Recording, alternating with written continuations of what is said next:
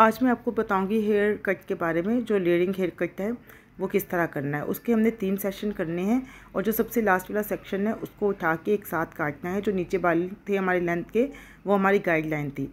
उसके मुताबिक हमने अपने सारे बाल काट देने ऊपर वाले। तो जब हम इनको छोड़ेंगे तो देखिए एक बहुत अच्छे से लेयर्स बन जाएँगे और इसमें बहुत सारे लेयरिंग बनेंगे। ये उन लोगों के लिए जो नहीं चाहते कि हमारी लेंथ शॉर्ट हो और हमारे बालों के अंदर एक वॉल्यूम आ जाए, ये उनके लिए बहुत अच्छा हेयर कट है, क्योंकि इसमें लेंथ शॉर्ट नहीं हुई और बालों के ऊपर कितने अच्छे से लेयर्स बन गए हैं। और इसका जो है फिर जो हमने बाल काटे हैं, जो सबसे ऊपर वाला एक लेयर था, वो हमारी गाइडलाइन थी। उन उसको उठा के आगे वाले बालों को साथ मिला के इनको बैक पे ले आके उनको साथ में कटिंग करते हैं। जो लास्ट वाला लेयर था वो हमारी गाइडलाइन थी। उसके बराबर रख के हमने ये सारे बाल काट देने हैं तो इससे आगे वाले बालों में भी अच्छे से लेयर बन जाएगा। इसी तरह से हमने दूसरी तरफ़ वाले वाले जो बाल हैं, उनको भी उठाना है और उनको भी साथ ला के जो पीछे वाले लेयर थे हमारे, वो हमारी गाइडलाइन है, उनको साथ रख के तो बराबर में पीछे ला के बैक पे उनको काट दें तो इस तरह जो है उन वाले साथ वाले बालों में भी जो है वो लेयरिंग बन जाएगी।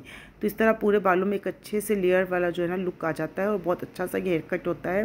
जो लोग अपने बालों की लाइन शॉर्ट कराना नहीं चाहते हैं और चाहते हैं एक वॉल्यूम आए तो इन लोगों के लिए बहुत अच्छा है। इसमें बालों में बहुत अच्छा वॉल्यूम आता है और बालों में बहुत अच्छा फ्लो आता है।